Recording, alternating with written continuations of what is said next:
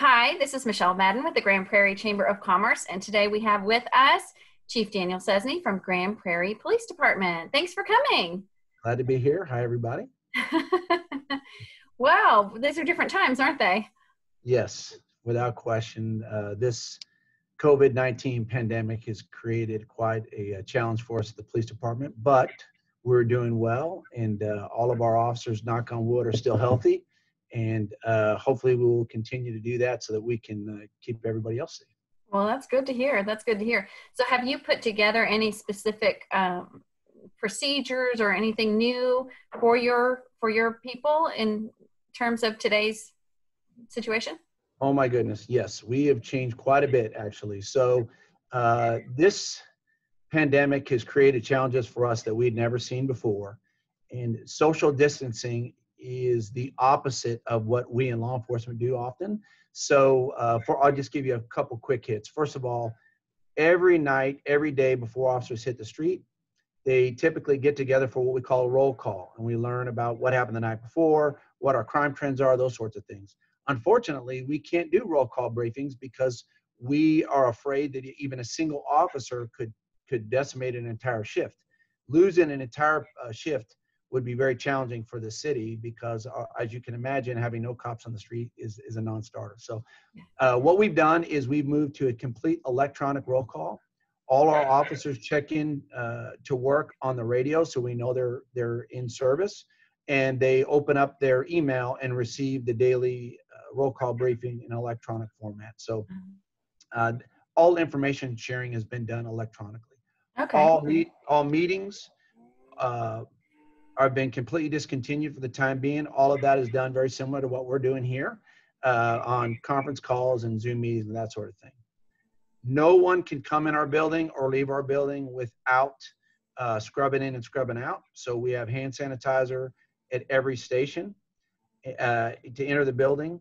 The public, unfortunately, is not able to come in under you unless it's we're not we're not keeping victims of crime out, uh, family violence, those sorts of things. Mm-hmm. But uh, they have to follow the same protocols. And when they meet with our staff, we're using uh, glass or plexiglass to keep a barrier there to keep our, our officers safe. Uh, we're disinfecting all of our patrol vehicles, our entire building, and even allowing uh, our officers and staff to, to uh, disinfect their personal vehicles. So that's keeping everybody uh, disinfected and safe. And then the last thing is we're also checking everyone's temperature, and we're doing that daily. Uh-huh. So anybody uh, that starts to exhibit symptoms, they're sent home. And, and uh, of course, the goal there is to keep everyone else that doesn't have symptoms away from those that do. But so you did far, mention, yeah, so far you're good though? Yes, yes. Well, that's good news. That's good news. So I assume that you have outfitted your uh, people with PPE and how is your stock and supply on that? What's the situation? So we're very in good shape. Luckily, um, we sort of read the tea leaves early.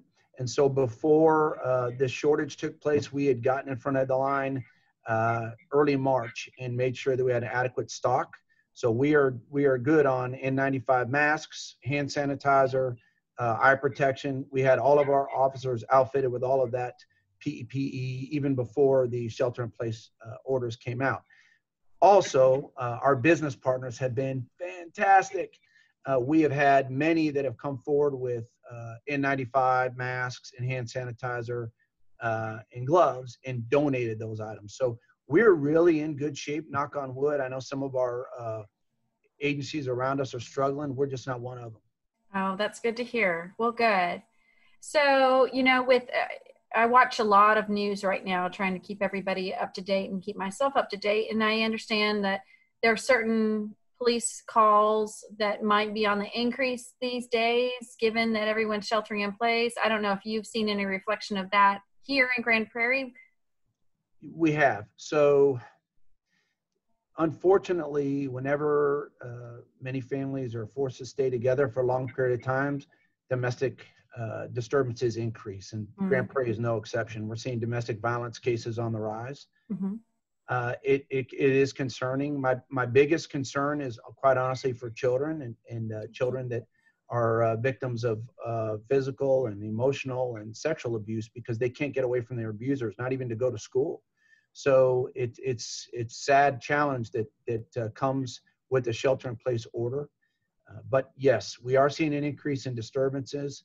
I'm hopeful that that'll start to uh, drop, but so far we haven't seen that uh, trend begin to dissipate. And I would guess too that with everybody trying to stay home, that there'd be less traffic accidents and things like that. You know, ironically, we just last night on Easter had our sixth uh, traffic fatality. Oh of the year. gosh! So we're still seeing some tra- traffic fatalities, but the uh, traffic accidents are down. There's a lot less uh, traffic congestion, as you, I'm sure you've seen. Mm-hmm. so that part of it is good. Our thefts are down.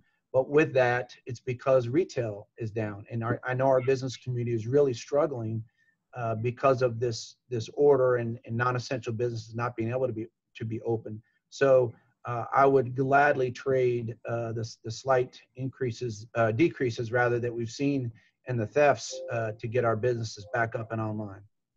With all that being said, have you seen any other trends happening right now?